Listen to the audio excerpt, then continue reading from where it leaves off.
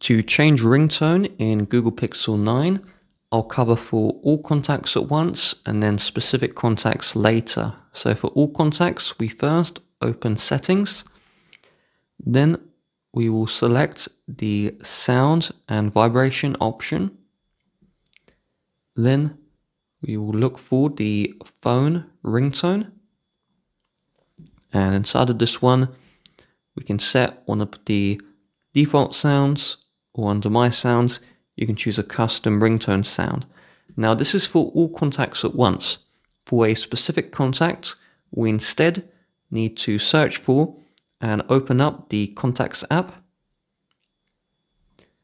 Then we're going to look for the contact that we want that custom ringtone for. And then we're going to tap the triple dots at the top right. And on the newer software, we see set ringtone here. On the older software, tap the pencil, then you'll see the ringtone option. So we'll select the set ringtone. And now, when we change the ringtone here, this will only apply to the contact that we are changing. If I choose this one, when they call me, this ringtone will only play for that contact compared to the other ringtone we set for the rest.